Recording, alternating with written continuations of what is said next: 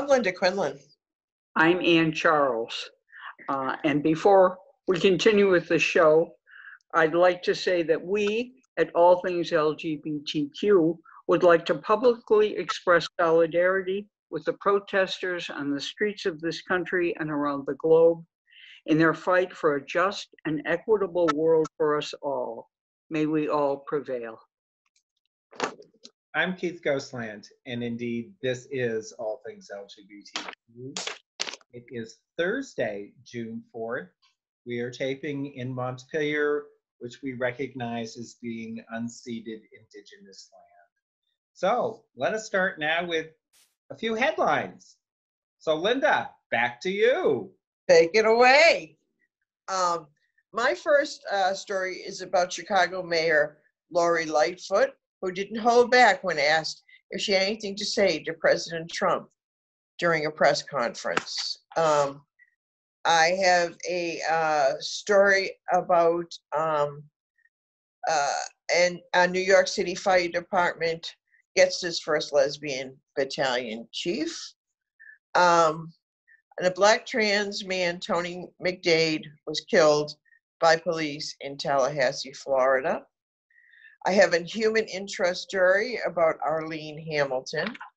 Um, a- a- another story about Chris Cooper, the bird watcher in New York. And um, let's see, uh, and journalist Keith Boykin, who was arrested and a, a, a little story about Larry Kramer. So, um, who died at 84 uh, last week, I believe. So, um, now we will move to Anne. Okay, I have many headlines. Um, I'm not going to get to many of these stories, but I have pictures for you. The story I will get to concerns scientists who discover gorillas engaging in lesbian sex for the first time. It's the first discovery. I'm sure it's not the lesbian sex for the first time. Uh, Costa Rica, this is good news. Costa Rica allows same sex marriages in a first for Central America. News from Poland. Liberal Warsaw mayor injects suspense into the presidential vote. This is about Rafał Trzaskowski. He's 48. Uh, I have a picture before you now of him. He um, is giving the right wing uh, president a run for his money in the upcoming election. I hope he prevails. IKEA, IKEA ma- manager charged with firing Pole over anti-gay remarks. So this employee of IKEA um, said terrible things about gay people that they were damned, they deserved to die, etc. The manager fired him, and now the prosecutors in Poland have brought charges against the manager, so uh, who may face fines or time in jail. But we'll see how that develops. Um, Hungary, and this has been a long time coming. Uh, it's a terrible outcome. Hungary votes to end legal legal um, recognition of trans people. Two years in prison for gay sex in Turkmenistan. The Zambian president pardons gay couple jailed for 15 years. And the backdrop of this story I've told you about, these two, um, this gay couple was arrested uh, and charged with, you know, being gay, basically. And the ambassador from the United States, the ambassador to Zambia, Daniel Foote, protested publicly and you know condemned the arrest. But then the Zambian president contacted the White House and asked Daniel Foote to be asked that Daniel Foote be recalled. So he was recalled. Uh, he lost his ambassadorship over this, but it was a righteous action.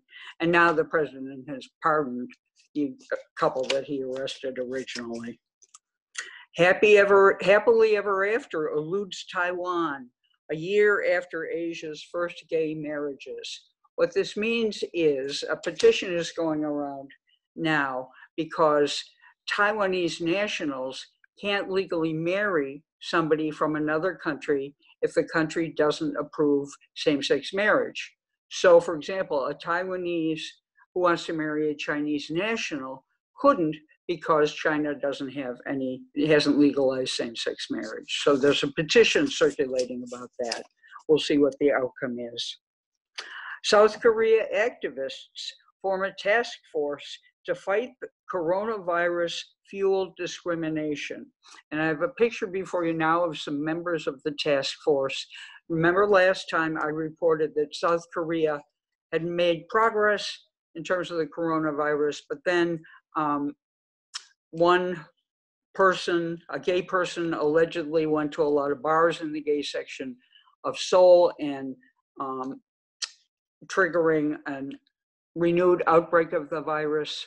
Um, whether or not this can be proved is irrelevant because the gay community was then blamed. So in response, this, these activists have formed a task force uh, to fight against discrimination. A um, couple of more stories. North Macedonia activists protest as court scraps anti-discrimination law.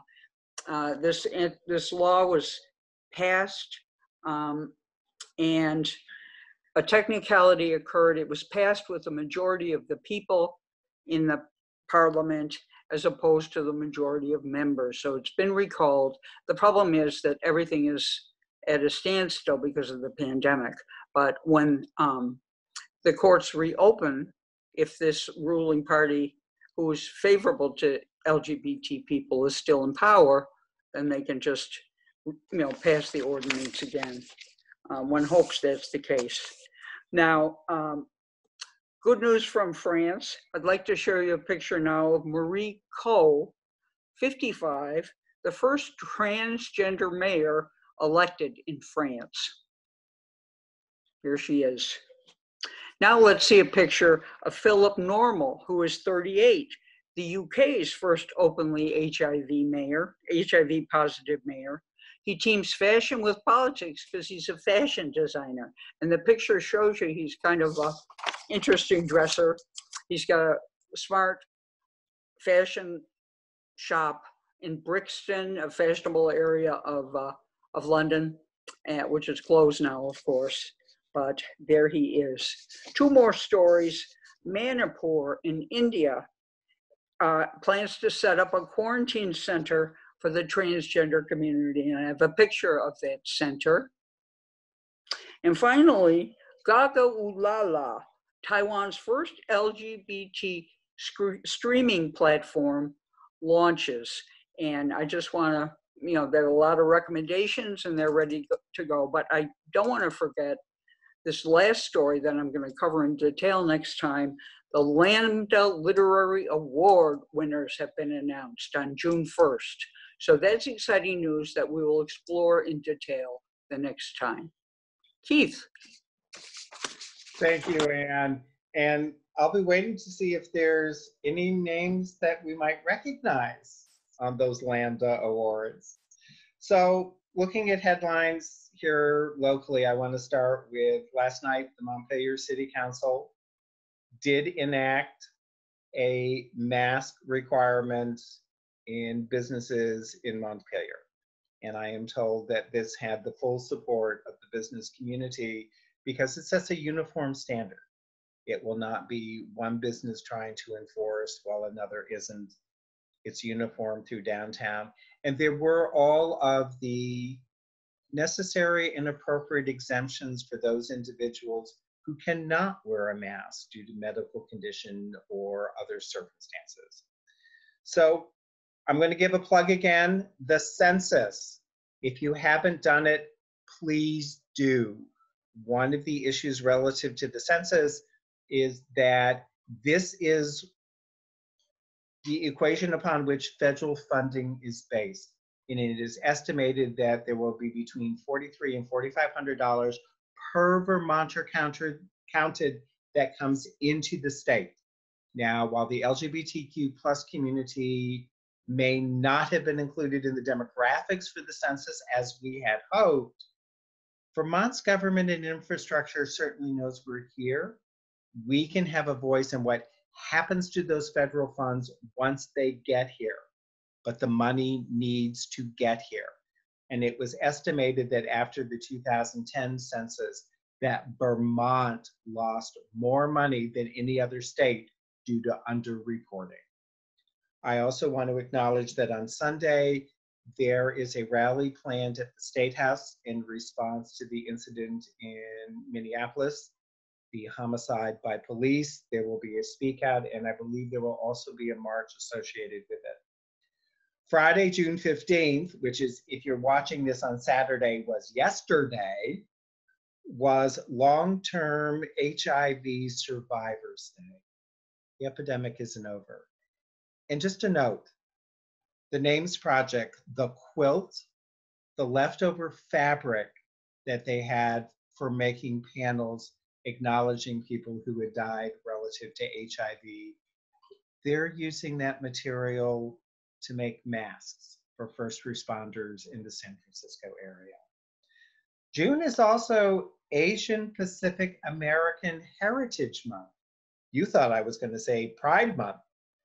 So there may be some questions coming up about what you know about Asian Pacific American history. Start your Google research now. Tuesday, there were primaries that were held in New Mexico, South Dakota, Washington, D.C., Montana, and rescheduled primaries occurred Tuesday as well in Indiana, Maryland, Pennsylvania, and Rhode Island. Let's talk about a Super Tuesday. I will be doing more extensive reporting on future shows, but the early assessment is the same as the 2018 election. Women candidates seem to do exceptionally well. And there were some well known controversial conservative candidates that may not have made it through the primary. Here in Vermont, there has been acknowledgement that in the House race within the Democratic Party, there are three transgender women who have filed petitions. We will do a, a more extensive reporting on this in future shows. And you might want to look for one or two interviews. Could be interesting. And then I really do want to talk about what's happening at the legislature, some of the bills that are of interest to the LGBTQ plus community, and then a bit about how Vermont has responded to the homicide by police of George Floyd and the acknowledgement that there was a almost identical incident that happened in Tacoma, Washington in March. So with that, Linda, it's back to you. Hey, thank you, Keith. Um, Chicago Mayor lesbian Lori Lightfoot didn't hold back when asked if she had anything to say to President Trump during a press conference. I will encode encode what I really want to say to Donald Trump, and it's two words. It begins with F and ends with U, said Lightfoot, the first out LGBTQ plus mayor ever elected to the city of Chicago. And we must stand firm in solidarity and, st- and say this is totally unacceptable no matter who the speaker is. We see the game that he is playing, Trump, because he's transparent and he's not very good at it. Lightfoot's message was in reference to Trump's Friday tweet that targeted protesters across the country who were demanding action against Derek Michael Chauvin, a 44 year old white police officer who reportedly has 18 complaints on his record, and only two ended in any kind of disciplinary action. Trump had referenced the racist fra- phrase when the shooting start when the when the looting starts the shooting starts in his comments the phrase was previously used by former miami police chief walter headley who in 1960 miami vowed to control black protesters and crack down on the hoodlums According to the Washington Post, at one point in December 1967, Headley said in reference to black protesters, We don't mind being accused of police brutality. They haven't seen anything yet. So um, she didn't hold back on that, and good for her. Uh, Betsy DeVos's Department of Education threatens funding for pro trans schools. Hightown's Monica Raymund is playing a fully realized lesbian lead in a Provincetown series on Starz. She plays a woman grappling with addiction and is trying to solve a murder. The series was created by Rebecca Cutter and is dark, sexy, and very queer. So you might want to tune into that if you can. Um, a human interest story about um, how Arlene Hamilton went from homeless to Wall Street. She's the founder of Backstage Capital, a venture capital firm which was founded in 2015 while she was homeless. The firm seems to uh, seeks to address disparities in technology industry by um, investing in companies that are high risk potential entrepreneurs who are women, people of color, and LGBTQ people. Backstage Capital has raised over $10 million and has invested in more than 130 startups. She is a proud gay woman and um, she really did a good job. So, congratulations to you. Um, then we have a story by Chris Cooper about Chris Cooper, uh, the bird watcher and sometimes substitute for Ann Northrop on Gay USA, was a man in Central Park who had a confrontation with a woman who was walking her dog without a leash. Dogs must be leashed in this part of the park, the Ramble, at this time of year to protect the birds who migrate there. Uh, Cooper started a videotape to started to videotape her when she pulled on the collar of her dog and refused to leash him. Um, and then she threatened to call the police and tell them she was being harassed by a black man in the park.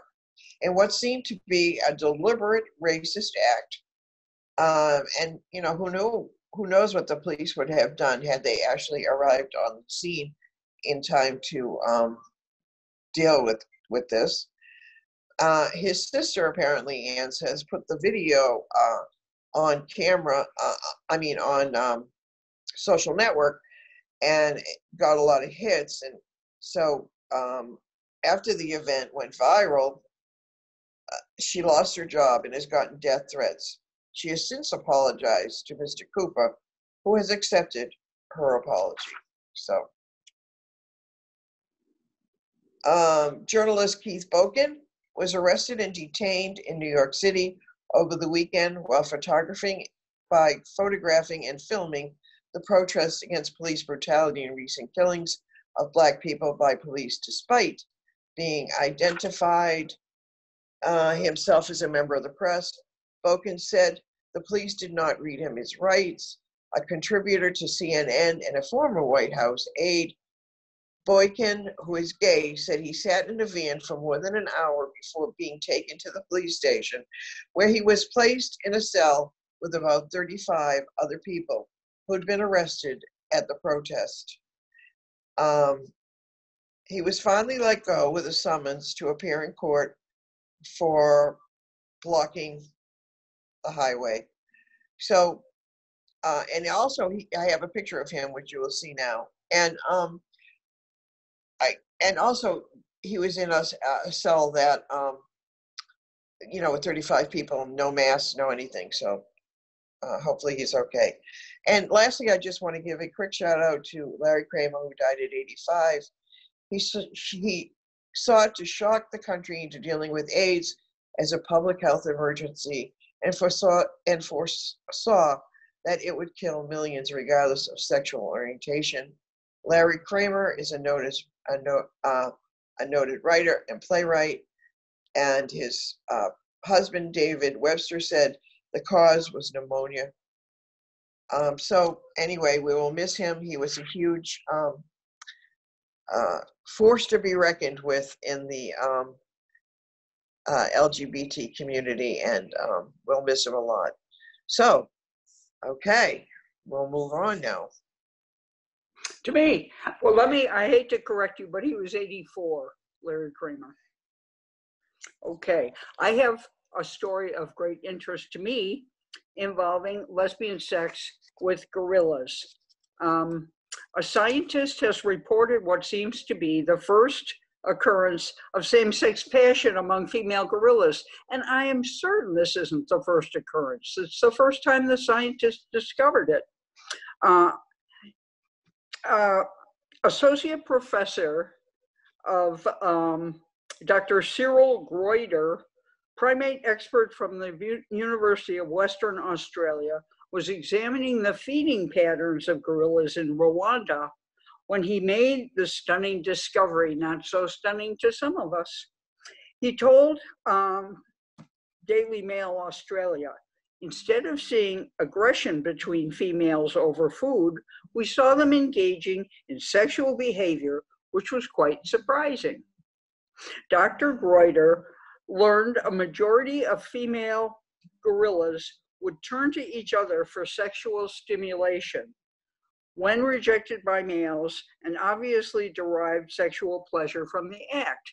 Now, we don't know that they were rejected by males either. I think this might be Dr. Grueter's um, assumption. Of the 32, of the 22 female gorillas examined from 2008 to 2010, 18 engaged in sexual activity with other females, including genital rubbing, genital closeness, and mating calls during intercourse. Now let's pause and see to see a picture of um, two female gorillas engaging in sexual activity. Uh, he also explained that the behavior of the female apes appeared to be motivated purely by sexual arousal rather than attraction. And they were equally aroused by males and females, bisexual gorillas apparently. The study, published in the journal PLOS One, states that 12 out of 43 homosexual events, 28%, involved at least one female that was also involved in a heterosexual act or the same preceding on the same preceding or following day. He told Daily Mail Australia, it's not necessarily it's not necessarily that they have the same same-sex orientation. is purely sexual behavior. Dr. Grueter also observed that females engaging in same-sex intercourse would often seek privacy by hiding in dense vegetation. You can't blame them. The academic said the study was significant as it might contribute to an understanding of the evolution of such behavior in humans. He said, gorillas are closely linked to humans, and we thought by looking at this behavior, we could learn a little more about our own evolution. So there we have lesbian gorillas in Rwanda. On to Keith. It's it's nice to know that the Penguins have a bit of competition now. Exactly. Yes. So looking at our legislature, some of the things that we're going to be following, and I will report more extensively on future shows, is there's a bill that had been stalled within our legislature that people now believe will get additional momentum. And it has to do with law enforcement's use of force. And related, the Burlington Police Department, after the demonstration that was held in Burlington over the weekend, immediately rewrote their policies as it related to what is and is not justifiable use of force. Use of force, when it occurs, will be investigated. Very positive and immediate response. There's the Older Vermonters Act that we're going to be following closely because a piece of the conversation surrounded reconstituting or bringing back the Older Vermonters Task Force. We need to advocate that both consumers and advocates from within the LGBTQ plus and other represented communities are included on the task force and not merely representatives from agencies and nonprofits who provide services to Vermont's elders. There is also an initiative started in the Senate that has actually passed the Senate that would give the Secretary of State's office total authority for mail in voting. The Secretary of State could investigate and establish a protocol by which mail in voting could occur in Vermont. And looking at COVID, mail in voting, everyone could be equally represented. People would get a postcard saying, you're entitled to, this is how to do it, etc. There is actually move on a national level to try and institute this across the country. It is getting a pushback from conservatives, as one might expect, because this would have a great impact on those districts who on previous shows we reported were gerrymandered and that communities of color, people living in poverty, their districts were spread, spread across a wide geographic area.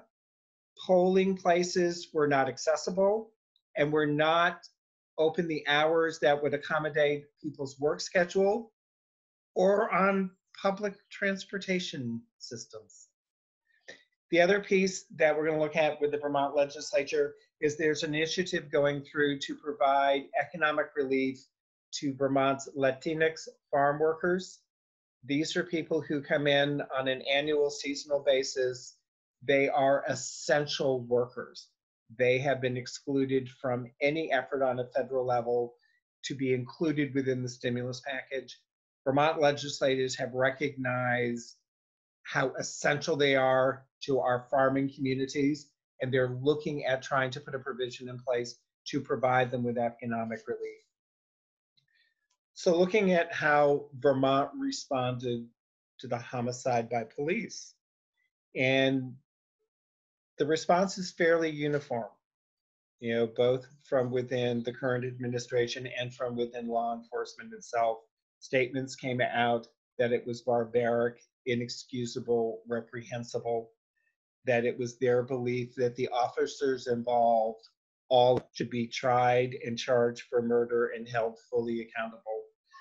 There was this statement that was given by Mike Schirling, who is the Commissioner of Public Safety, that sort of summed up Vermont's law enforcement response. If you're in this job for any other reason than community service with empathy and to provide a requisite level of protection to those who need it, you should be looking elsewhere. We're past the point where this is something we should be discussing. And the Scott administration has actually put in place an equity task force to look at racial disparity within Vermont, Vermont's infrastructure, the systemic response, and looking at what it's going to take to effectively respond to it. And Zanna Davis, who is Vermont's first director of racial equality, made a statement about everyone accepting their responsibility for stamping out white supremacy I always try to ask people to remember white privilege doesn't mean that your life isn't hard. It means that your skin color isn't one of the things making it harder. White silence equals violence. So, and I also want to acknowledge that there have been some reports about an incident in St. Johnsbury where during a demonstration, four of the protesters were taken into police custody. And from the report, it seems as though what had occurred is the demonstrators had moved from the sidewalk to blocking traffic. And that's when law enforcement had stepped in. However, the St. Johnsbury Police Department has said the incident will be fully investigated and appropriate responses taken. So with that, I'm actually going to turn this back to Anne because she conducted a recent interview that she'd really like to introduce for us. Thank you. And before I uh, introduce the interview, I'd just like, since we're up to the minute with our reporting, I'd like to add to Linda's story that, of course, three other officers in Minneapolis have been arrested. And um, I'd like to start introduce. I'd like to introduce the interview with a clarification, if I may. It was my great honor to introduce to interview Juli Lopera. Uh, Juli uses they them pronouns, and in the interview, I used the wrong pronoun, a mistake that I deeply regret and apologize for.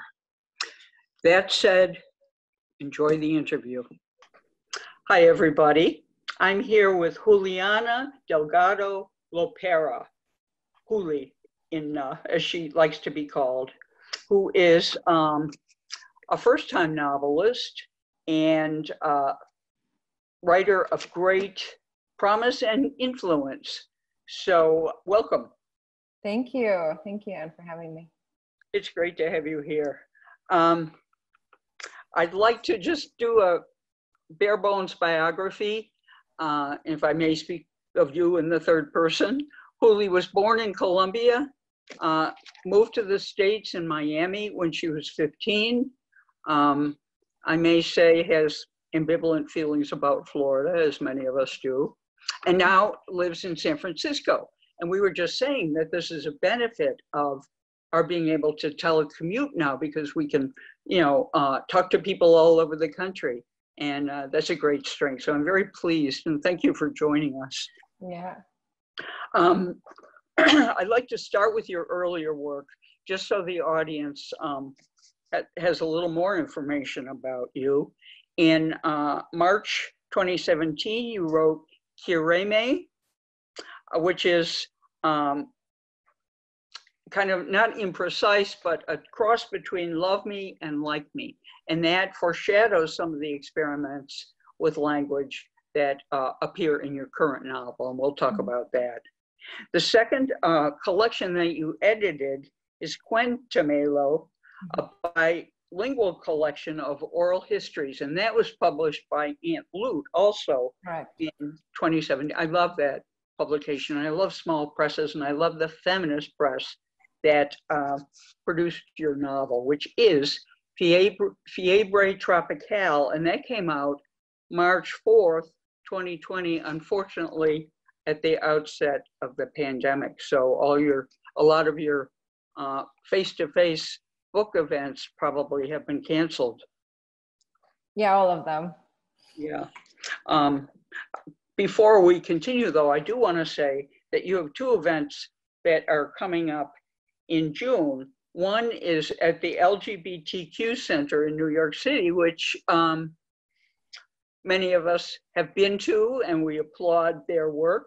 And you're going to be talking with another uh, distinguished writer, Sarah Schulman, whose work I certainly admire. Um, and this is she was involved, she did a reading at Sister Spit that I saw on the Bowery in New York several years ago. And you were involved with Sister Spit too. I was involved with Sister Spit. Yeah, I was running Radar Productions for four years. Right. And you're no longer doing, did you want to take time to write? And Yeah, I left last year. And so I did four years there. It was wonderful. We did the Sister Spit tour for four years. Um, we didn't go to the East Coast, but we did um, West Coast and the Southwest. Mhm. And it was a, just one of the most magical things I've done.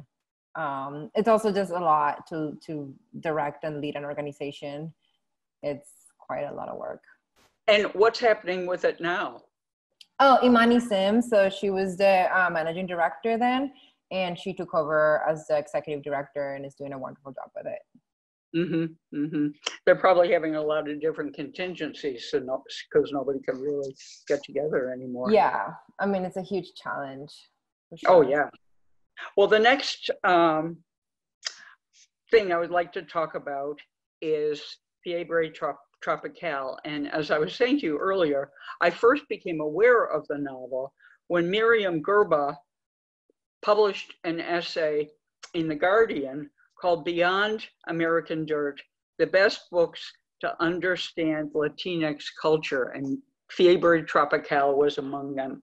Mhm. Um, and Sarah Schulman describes it on the cover here as breathless, hungry, funny, fun. The new immigrant novel in a knowing see all Colombian lesbian voice. This novel is much needed and alive. So, congratulations, it's gotten rave reviews. Thank you. Thank you. Um, and I, I'd like to talk a little bit. I mean, um, Gurba describes it as coming of age, coming out story, coming to America saga, um, all these things wrapped into one. And it's written in uh, what a lot of people say is described as Spanglish. So my experience of reading it was is what you describe. It's I I looked up everything and I couldn't find all the words, and so I was kind of carried along by the narrative, which you say is comparable to the immigrant experience. Yeah, I mean, um, thank you for that introduction, and I'm very excited to be here speaking with you. Um, it's interesting because when I set out to write the book, I didn't think I was going to write an immigrant experience. I didn't think I was going to write a queer experience. I didn't think any of it. I was really attracted to the characters, and the story grew out of um, the baptism the baptism scene. That's kind of like where the story started and then it just blew up and i was just really in love with the characters. And so i just want to i just want to preface with that because it's really important to me that like i started this just by being enamored by the story and being enamored by the characters. And the characters all just happen to be immigrants and so in a way the in the aftermath of writing the book now in retrospect i really see how the blending of languages for somebody who doesn't speak both languages is a way of mimicking uh, what immigrants go through, which is we have to be constantly in translation every single day. I mean, I've been in the States for 16 years and I speak perfect English, and every single day I still have to translate a lot of things, you know, including like idioms, humor. Um, and so it does it does mimic some of that experience of us having to be kind of like always not quite there with the language and the culture as a whole. I remember having a friend um, who was from Spain, and she saw she went back to Spain and saw a play and said, "I understood everything." you know, she's yeah. She's been living in the U.S. and speaks beautiful English also. But you know, it's uh, it's got to be a struggle. Yeah. Tell me about your influences, if you would. How did you happen to um, evolve into the, writing this novel? Yeah, so I mean, the influences I can say that go back to me even being a kid. I grew up in Colombia, I grew up in Bogota, and I come from a family of a lot of women. My mom has five sisters, my grandmother had five sisters. And so there was a lot of women and a lot of women who really know how to talk and who really are great storytellers. And so they speak with their with their hands they talk with their mouth they use a lot of their body. They're great at making up words um, are inventing things and they're just like great narrators. And i grew up around my grandmother a lot. And i would um, come home from school and i would go to her house and the, the bus would drop me off at her house and she would let me like watch a bunch of tv and telenovelas and we would both like reenact scenes from the telenovelas and my grandmother was a seamstress and a cook and so I know that my early years with language really exploded because my grandmother gave me a lot of space to play and experiment as I saw fit. Uh, in my own house, my mom's house was very rigid. I went to an all girl Catholic school. My mom was like very, very organized and orderly. But it was when I went into my grandmother's house that kind of like free flow um, just really like sparked a lot of creativity for me. And then when I moved to Miami, I also moved with a lot of my family. So I was again living with a lot of women and I was again living with my grandmother. And I remember the first few times while I was down there that I heard so Miami is very much built by Cubans. People don't know this. Cubans started moving there in the 60s and it's like literally built by Cubans. And so there's places in Miami that you everything is written in Spanglish or in Spanish. And you really, there's literally neighborhoods where nobody's speaking any English. Um, and so I remember when we got there and I heard Cuban people translate idioms straight from English into Spanish and Spanish into English. And I was like amazed at what was going on. Um, so it was definitely in Miami that I started really picking up on this playfulness of language that immigrants were doing. And it was mostly because like I saw it, I first saw it with uh, Cuban people there, but then my own family started learning English. I started learning English and we started like blending it in in all those different ways into our into the fabric of our lives. And the way that it came inside in our lives was through you know mispronunciations different accents making up of words. My grandmother never learned any english but she would pronounce everything phonetically in spanish when you told her to. And i would always laugh. She knew that it was just funny. And now i know in retrospect that i like I will write down all these words that she would made up. I was always a little kid with like the little notebook going around and like our um our family gatherings and I would just write down the stuff that they would see because they were so funny. And I believe that most human beings have just like poetics in them. We just don't pay attention sometimes. But if you watch somebody speak, like they will come up with some like gorgeous metaphor about something or just something really funny. Um, and so I really started seeing how the English that I was learning in school, I got to the States into, I think it was eighth grade, um, was very structured and very standard, and I didn't do well there at all. But then when I would leave school, I heard the English on the streets, the English that was like meshed with like other immigrants. It wasn't only like Cubans, but like Argentinians, there are Haitians there, there's Jamaicans there. And so everybody was like building in English in however way they could. Um, and that really solidified my love for for english. And then it was when i got to san francisco i only stayed in miami for four years. When i got to san francisco 11 years ago um, the english here then is very different because then it's it's blend with mexican spanish. Um, so it's like central american spanish is here you know cubans have it over there. And if you go to new york it's like puerto ricans and dominicans. Um, but they all have like this beautiful playfulness. And i love it because people are just trying to get to understand what's going on in front of them. And because the reality doesn't fit a standardized language they just make it up. And i you know then i started reading like mexican american writers um, and i learned that even at the turn of the 20th century people were already writing in both languages.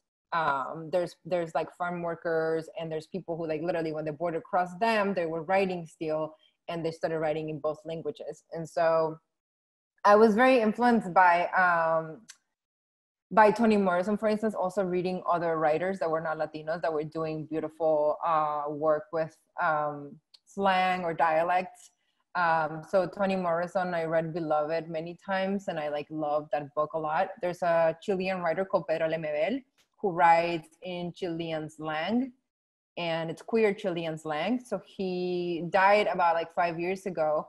Um, he was an opposer of the Pinochet regime, and he wrote as like the sissy, faggy, you know, indigenous queen. Um, and her his writing was just so so beautiful, and it also very playful and very queer. Um, there's another Latin American writer called Rita Indiana who's Dominican, and she also does she does merengue.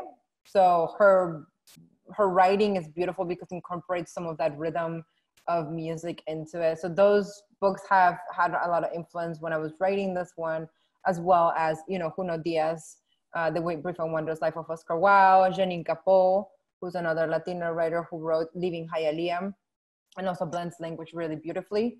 Um, so some those are some of the influences in the book, and also you know I speak a lot about my influence with nightlife in San Francisco and how that really seeps into my writing. So drag queens have have had a huge impact in my work.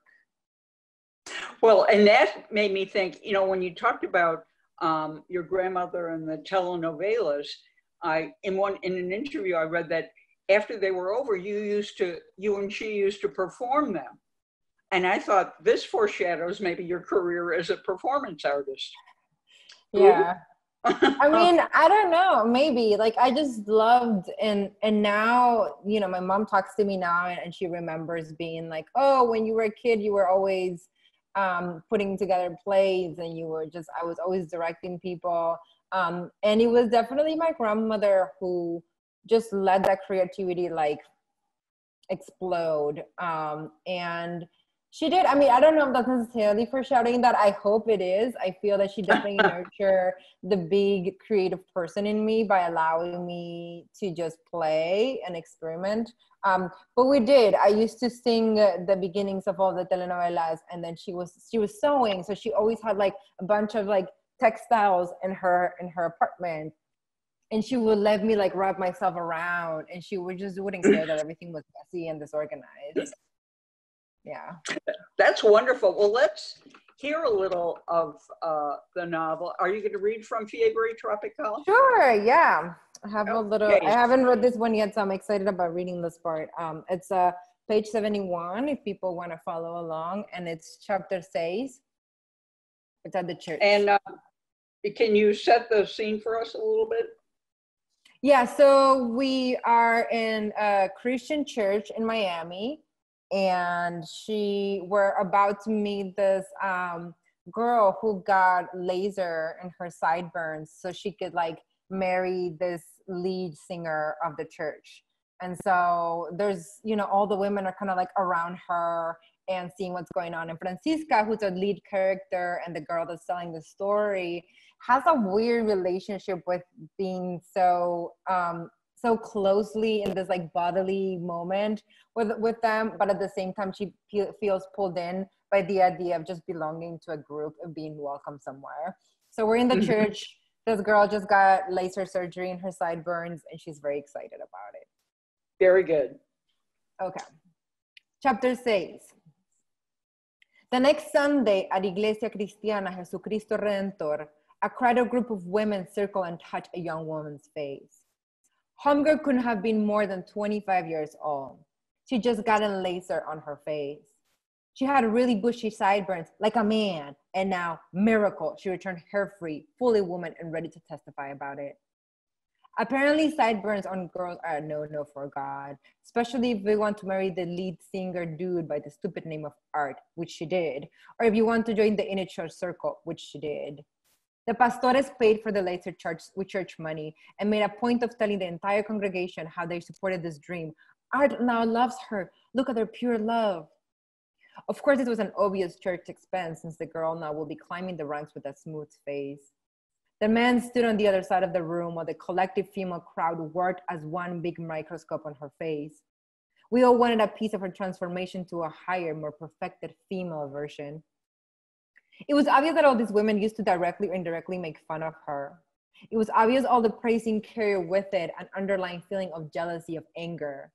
Now we all touch our own sideburns, not as bushy as hers, but tiny hairs nonetheless. I remember when we were still not as pure and definitely not as chosen. Nobody was paying for us to become more womanly and therefore more desired by the higher ranks of the church. And thus began the jealousy roller coaster ride. All of us with hungry tentacles stretching out onto her body. Everyone took turns running their fingers along her silky cheek, commenting on her newly acquired beauty. She seemed thrilled with all the attention, nodding and repeating, I've wanted this all my life. I've wanted this all my life. Art is so excited for me. We're finally getting the church's blessings. Envious smiles all around. When my turn came to touch her, I declined. It's okay, she pressed. Touched it. It's so smooth. I didn't want to turn somebody else's skin.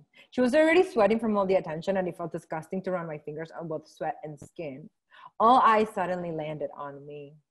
Tata would later update me on the gossip of the girl's church history. She was a nobody, and people spoke of her hairy face as if she was an abomination brought by Satan, only in whispers, only in passing. She was evidence of biology gone wrong, and of the women felt a sense of superiority when staring at her hairy body. Now she had undone every single bitch and clawed her way to the hairless top. In Colombian girl world, this is called arribista. In, Co- in Colombian church world, it's just called a miracle from the benevolence of Papi Dios who refuses to let his daughter suffer. Amen. of the day, I remember running two fingers on her cheek, the girl's proud smile. I remember the feeling of being invited into the circle, of joining the women into this ritual. As gross as touching her felt, it was also an invitation. I too went ahead and ran two fingers over her skin. Something about it felt wrong, and yet I was inside a circle, welcomed in. The pastores called from us from the podium. Las mujeres, please do us a favor and stop the gossip and go sit. Hairless girl then hugged me. She said, Christ believed in me. I carry her face inside me that day, a weird feeling of closeness. Great. Thank you. Yeah, you're welcome. That uh, sounds like a little queering of language, which is an expression you've used about um, your use of language in the novel. Do you want to talk about that a little bit or? Yeah, we can talk about that. I mean, I feel um, that queering of languages um, can can take can take many different shapes. And so I feel that this queering is not necessarily because it's talking about queer subjects, um, which it is, but it's also because the language is veering off from the normal and what we assume is a normal way of approaching language. And so the the book really picks up on slang, immigrant slang, and specifically Colombian slang, and it blends it in with English. And so, in this way, it's moving it away from um, the standard, what I'm calling also white English, which is what it's generally um, taught as good English. And it's interesting because I get asked, you know, about the language in the book, and I and I tell people that um, everybody makes a choice as to how they write. And when we write, when we read a book that is told in a you know a third person, objective, masculine voice, um, it is still a choice. It's just seen as the normal, and so it's it's rarely a, that question, you know. And so like Spanglish is very much othered still, and so I believe that in its otherness, it's queering language. And overturning the binary of either English or Spanish. Exactly. Um, yes. Well, is there, we're coming to the end of our interview. Unfortunately, time has flown, flown by. Is there anything you want to leave us with? Any final thoughts?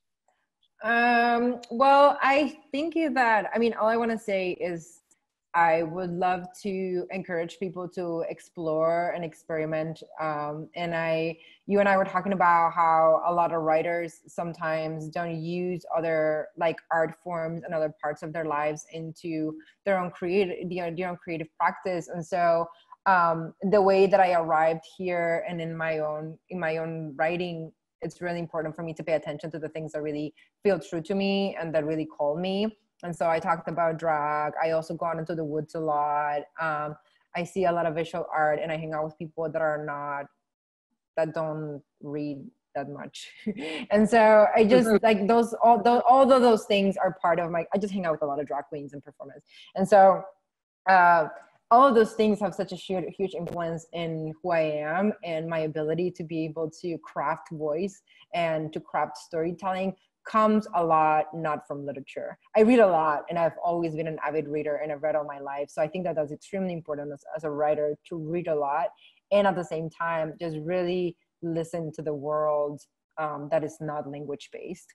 I remember learning once that bioluminescence is the most widest like form of communication and it's not language, it's bioluminescence, which is amazing that light is like what's used the most in the natural world as a communication device. And that just really blew my mind because I'm like, oh my God, I'm such a writer and I'm a Gemini also. So I'm like ruled by Mercury and I'm always just like, you know, um, but just really to be able to take a step back and decenter like language and human experience from uh, a mode of communication was just uh, such a beautiful moment for me of like learning.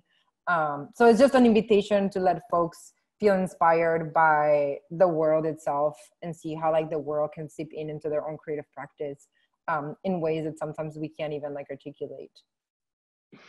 Wonderful. Well, that's a great note to end on. Thank you, okay. Juli. I hope you're able to come again and we can have another. Thank you.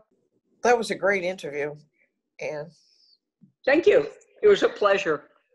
So I also understand that the name might not be included on this year's Lambda Awards because of the timing of the release, but we should be looking next year. You betcha. And I'll be rooting for them. Yes. Right. And with that, Linda, take us home. Okay. Let's remember through the pandemic and the riots, we must always resist. resist. Thank you